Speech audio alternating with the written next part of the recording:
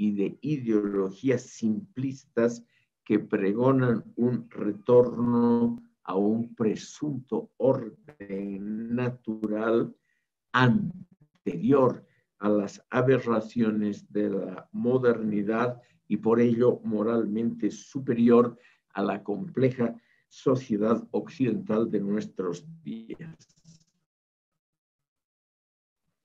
En Asia, África y sobre todo en América Latina, estas concepciones armonicistas como las de Rousseau, una posición armonicista, no armónica, estimado público. Lo armonicista es aquello que exacerba hasta la exageración lo armónico.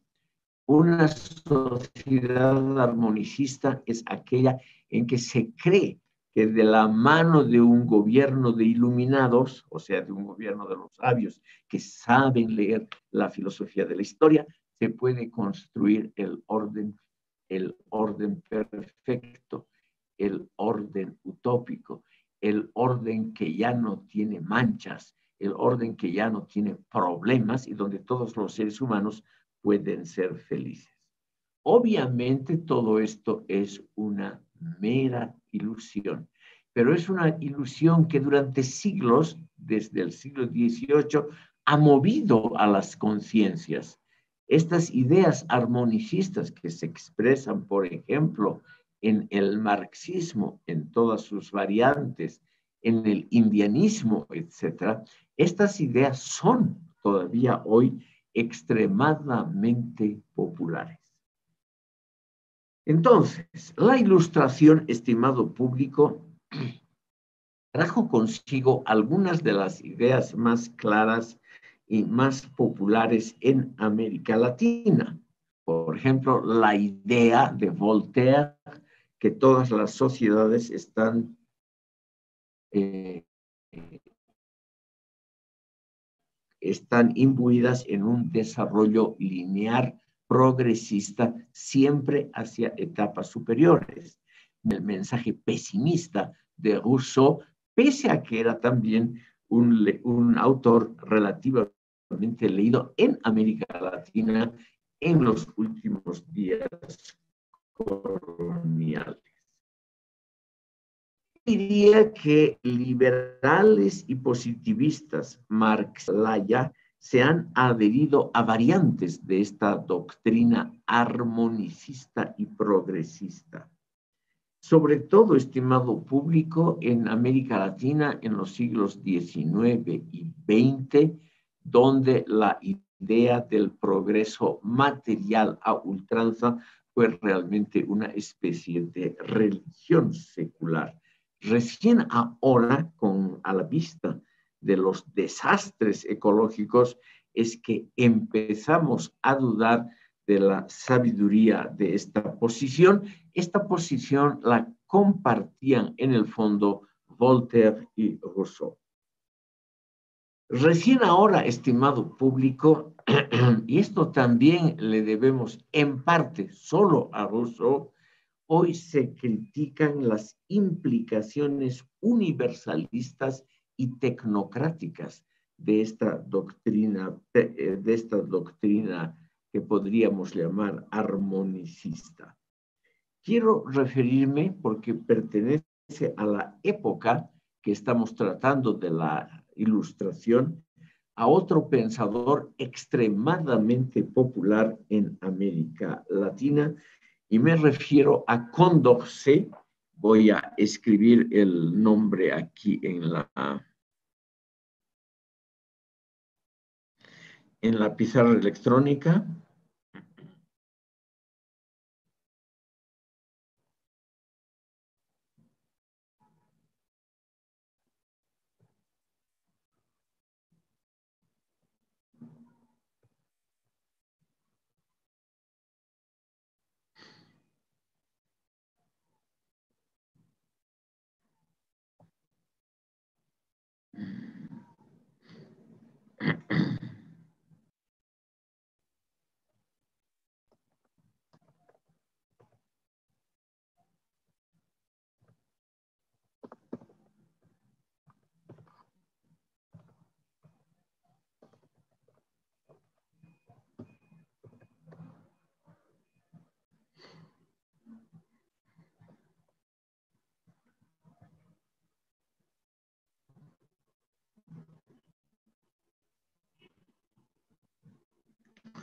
Aquí tenemos en la pizarra electrónica, en el chat, el nombre más o menos completo. Hay que considerar eh, dos aspectos, estimado público, entre sí probablemente contradictorios. Condorcet pertenecía a las familias más ilustres de la nobleza francesa. Cuando él firmaba sus libros, también en medio de la revolución, él jamás renunció a su título de marqués de Condorcet. Su apellido, el apellido paterno de él era Carità. Condorcet vivió entre 1743 y 1794. Y es por vías que podemos llamar indirectas uno de los autores más populares todavía hoy en América Latina. Condorcet es prácticamente aquel que reúne las ideas armonicistas, progresistas del siglo XVIII, las reúne en un solo postulado político-económico y a él debemos naturalmente la idea de que el gobierno ideal sería un gobierno tecnocrático, o sea, un gobierno de los que saben manejar los aspectos técnicos del progreso. Condorcet era matemático, ideólogo de la preeminencia de las ciencias naturales sobre las sociales y un partidario del ala moderada de la Revolución Francesa, como muchísima gente culta de su época. El periodo posterior de la Revolución Francesa, que es el periodo que se inicia con Robespierre y el terror, lo persiguió y él tuvo que refugiarse. Y en ese refugio, por falta de atención médica, es que él murió justamente cuando lo estaban descubriendo.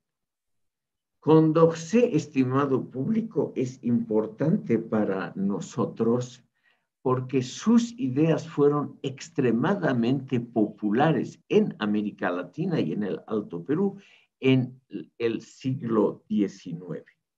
Esa idea, sobre todo, eh, de que la razón se va desplegando para todos los pueblos del mundo y que ese despliegue termine en una era científica es el fundamento de la, de la concepción posterior de un gran positivista como ha sido Auguste Comte. O sea, es una idea realmente muy, muy popular en eh, pensadores posteriores. Por las dudas, anoto el nombre del fundador y hasta hoy el postmoderno, el eh, positivista más importante. La filosofía de la historia de Condorcet puede ser considerada como el despliegue de la razón que justamente va superando sus debilidades, sus deficiencias mediante la autocrítica. Esto es lo interesante del ser humano, estimado público. Aquí nos encontramos con un pensador como Condorcet que en el fondo lo que hace es sistematizar las ideas anteriores, por ejemplo, la idea muy interesante de la crítica como uno de los elementos esenciales de todo quehacer filosófico y educativo, y cuando se cree que esto, que esto debe ser la principal política de Estado a largo plazo, o sea, la educación que se va corrigiendo a sí misma y él toma como ejemplo a las ciencias naturales de su época. Él es el gran admirador de Newton, el descubridor de la ley de la gravitación universal, y sobre todo él quedó impactado por la forma como Newton llegó finalmente a la idea central de la gravitación que fue examinando miles de otras posibilidades y desechando las equivocadas hasta llegar a lo que Newton consideró la verdad y Condorcet lo mismo. O sea, es una aventura del pensamiento que va naturalmente estableciendo teoremas, pero esos teoremas van siendo desechados porque aparecen mejores explicaciones. O sea, el famoso método de trial and error de Karl Popper ya fue prefigurado en el siglo XVIII, 200 años antes, por este tipo de pensadores físicos e investigadores.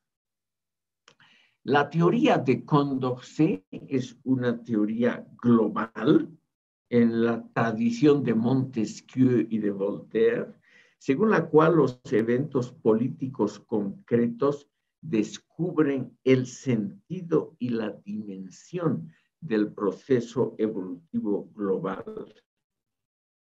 La Revolución Francesa, por ejemplo, es el, es el ejemplo más famoso que, que ha nombrado Condorcet. La Revolución Francesa es importante no porque haya después de todo destronado a una monarquía, establecido la república y una asamblea nacional que era la representación de la diversidad de opiniones, sino porque descubre la revolución el verdadero sentido de la historia. O sea, la historia tenía necesariamente que conducir a la revolución francesa. O sea, el sentido y la dimensión del proceso evolutivo es desplegado y descubierto por los grandes acontecimientos históricos, lo que es una mera hipótesis para los filósofos se convierte en una verdad para los políticos. Condorcet era también político, era un político que hoy llamaríamos tecnocrático, y estimado público, el paradigma que inspiró a Condorcet fue naturalmente el paradigma de las ciencias naturales y de la matemática de su época. Él creyó que todo puede ser cuantificado. Él creyó que la ciencia era en el fondo una relación de fenómenos cuantificables y hasta matematizables independientemente de su pertenencia a tal o cual esfera de la naturaleza. La eliminación de los principios cualitativos, cuando se llamó cualitativos a los fenómenos de la Edad Media. La eliminación de los conceptos cualitativos de la filosofía medieval fue, según él, la meta principal de su quehacer. Es decir, los héroes de Condorcet son los científicos y los inventores, aquellos que hacen avanzar rápidamente a la humanidad. Toda esta inclinación cientificista, estimado público, no puede ocultar los prejuicios etnocéntricos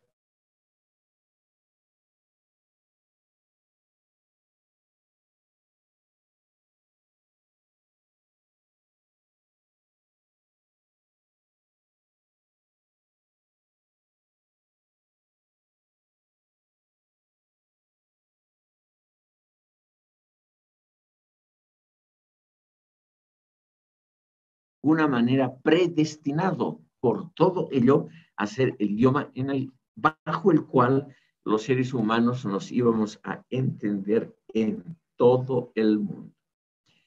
Él dijo, por ejemplo, esto que puede molestar a ustedes. Los pueblos ignorantes y serviles de la India y del África harían bien en alcanzar algún día el estado civilizatorio de Francia, la nación del mundo más libre y esclarecida y más exenta de prejuicios. ¿Por qué les muestro yo todo esto? Porque aquí vemos a un gran ilustrado, como ha sido Condorcet, repitiendo banalidades y prejuicios totalmente normales de su época. Es decir, estimado público, lo que tenemos aquí que aprender es que todos nosotros nos podemos equivocar como hizo Condorcet al hablar de los pueblos serviles de la India y de África. Él era dogmático y unilateral bajo la bandera del multilateralismo y del antidogmatismo. Eso es el punto al cual yo quería llegar. La razón, estimado público, puede llevarnos a un callejón sin salida. Y esto es lo que Rousseau notó también y Pascal anteriormente y muchos otros pensadores de la cultura occidental, que la razón no es la última palabra en, eh, al juzgar los fenómenos humanos y celestiales. Estimado público, la obra de Condorcet fue extraordinariamente popular, sobre todo su obra que se llama El esbozo de una tabla histórica del progreso del espíritu humano. Esta es la obra central, ¿no? El famoso esbozo de una tabla o de una, podríamos llamarlo el esbozo del progreso humano, simplemente. Esta es la obra básica que fue extraordinariamente leída en, en el siglo XIX, sobre todo aquí en América Latina.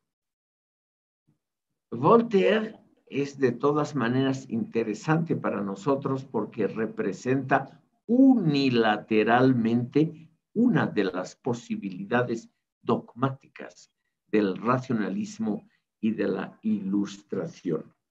Por ejemplo, Condorcet en toda su obra no tiene ninguna simpatía ni trata de comprender la mentalidad de otras culturas.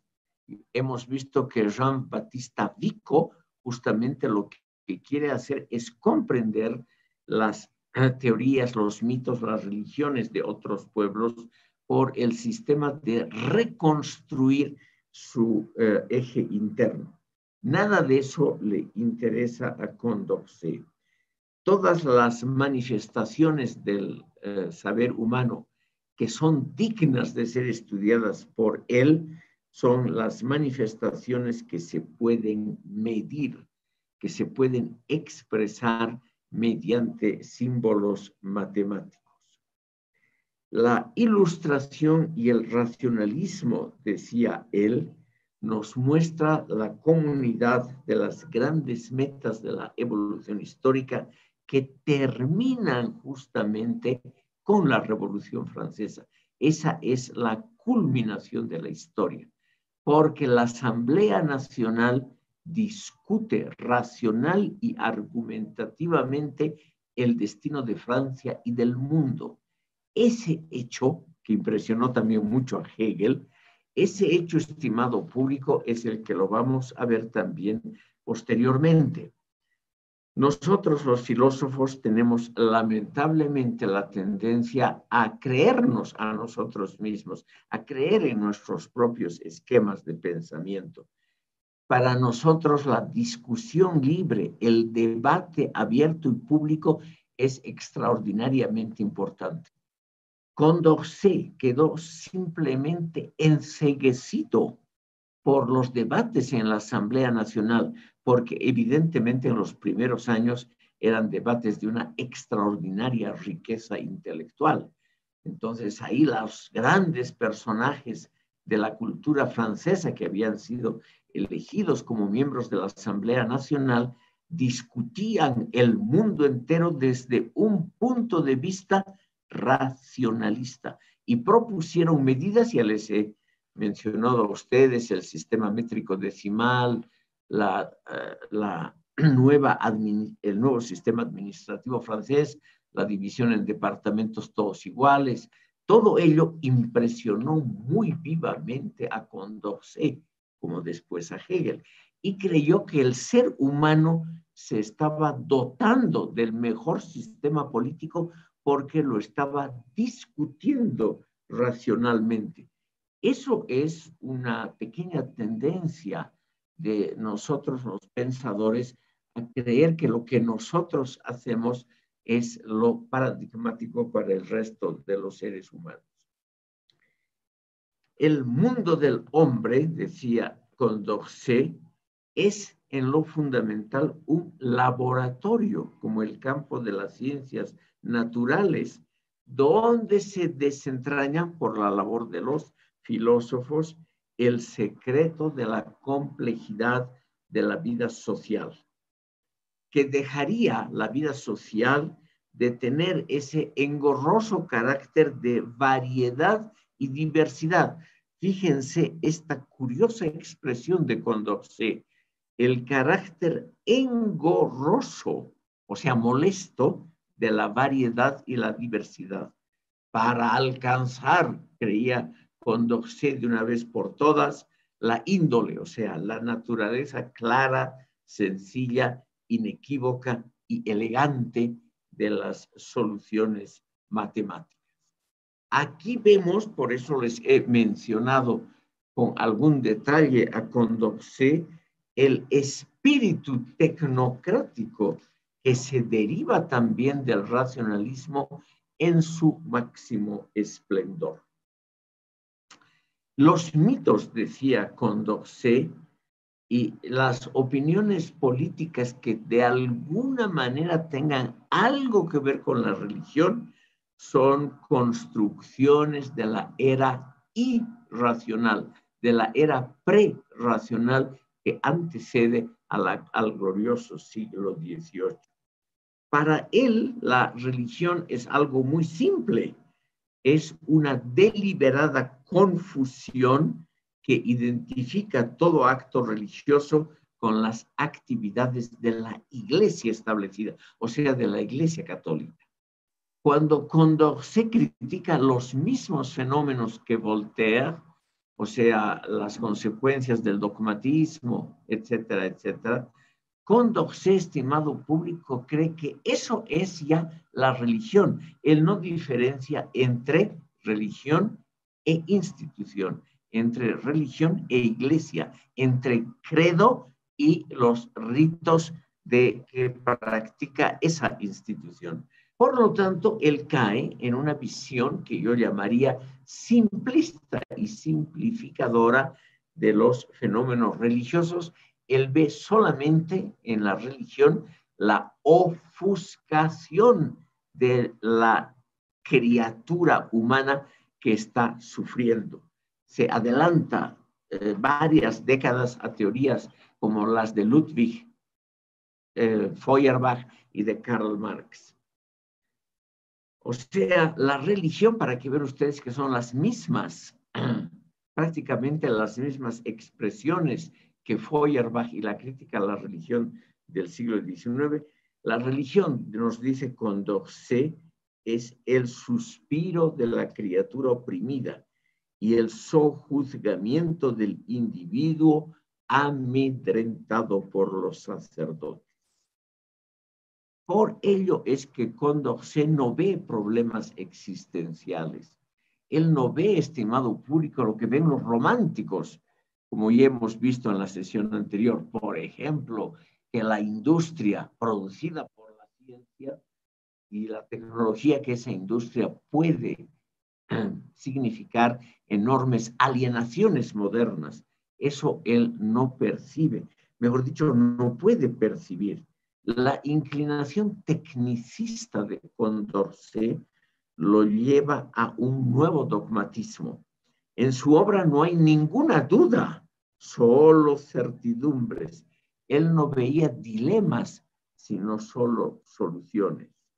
Él creía, por ejemplo, que la política racional, la racional, no sería el resultado aleatorio de fuerzas e intereses sociales en pugna, sino la encarnación de las diferentes etapas de la historia humana.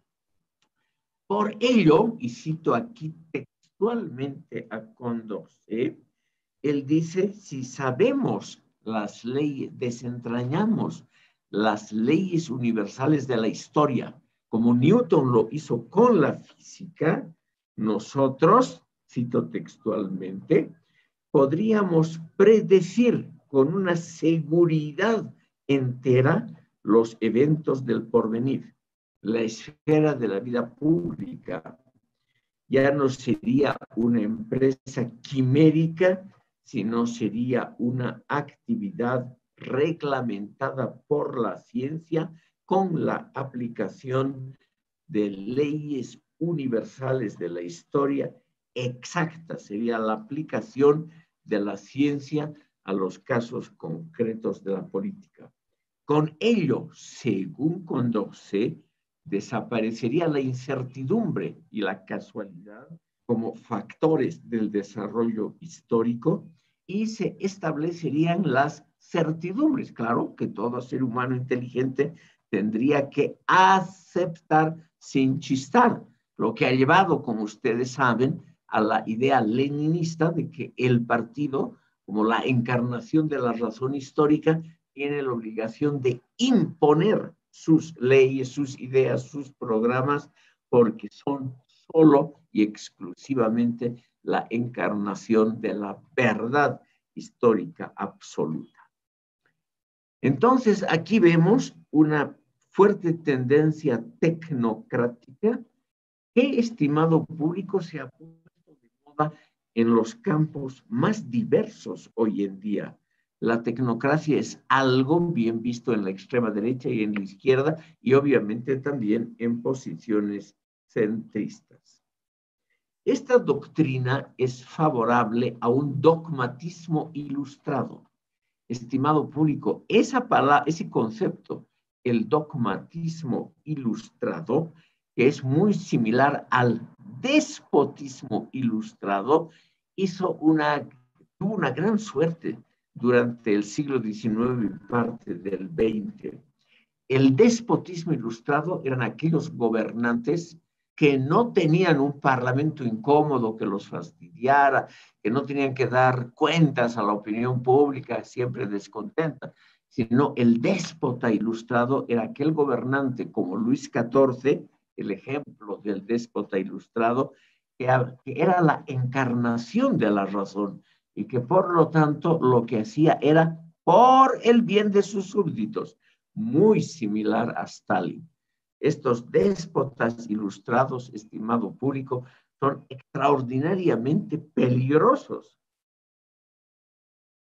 porque ellos creen ser la encarnación de la razón histórica. Y entonces el oponerse a sus ideas, a sus planes, a sus leyes, es simplemente irracional, anticientífico y por ello doblemente condenable.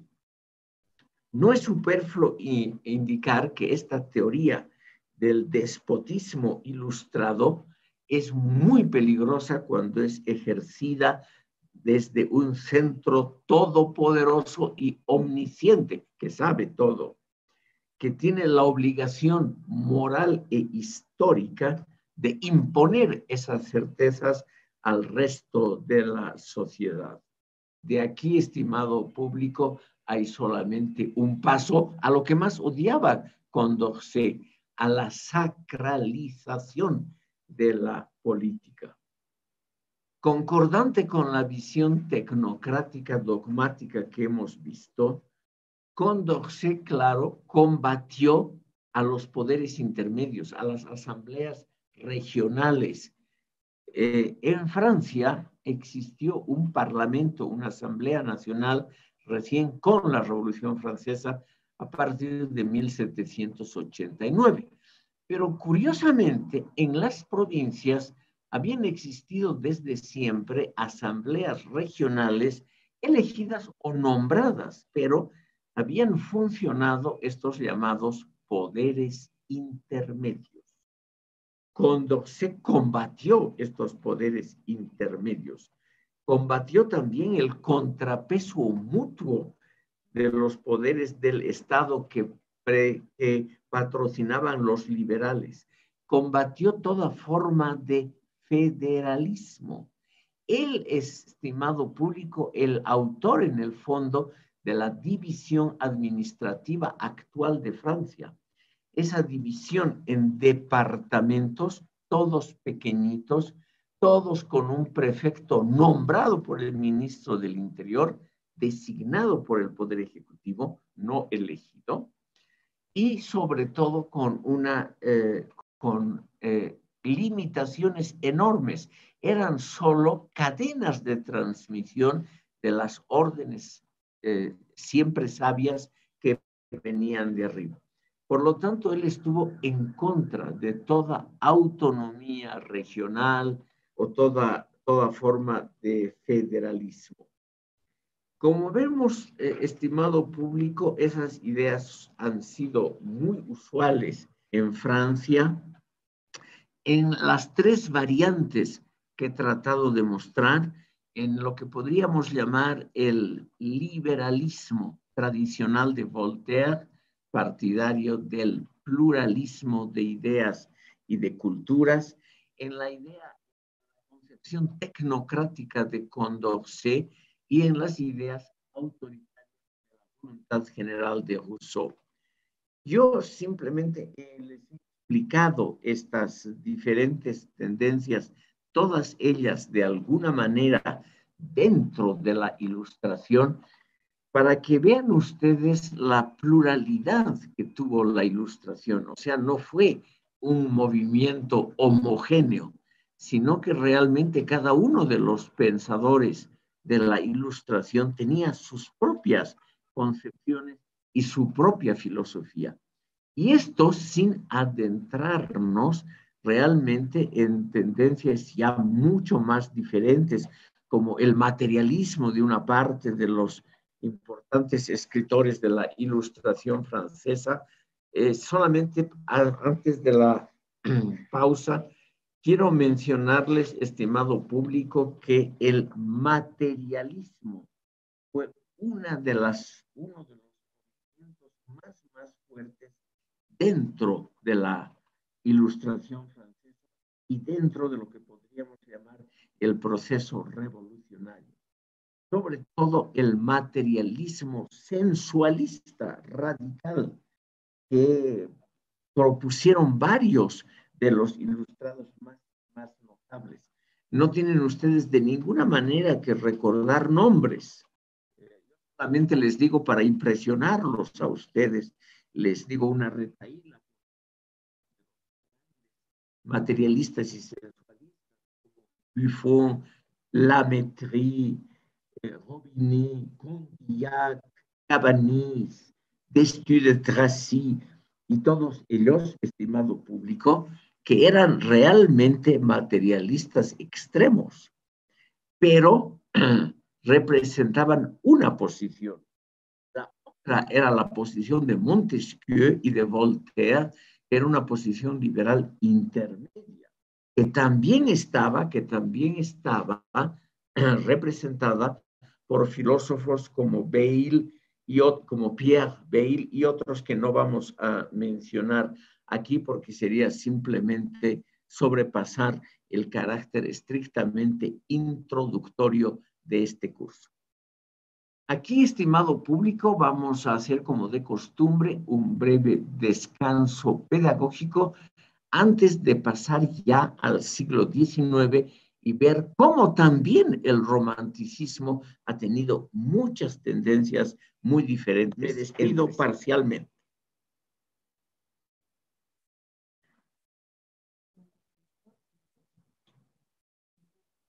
15 eh, minutos de descanso pedagógico.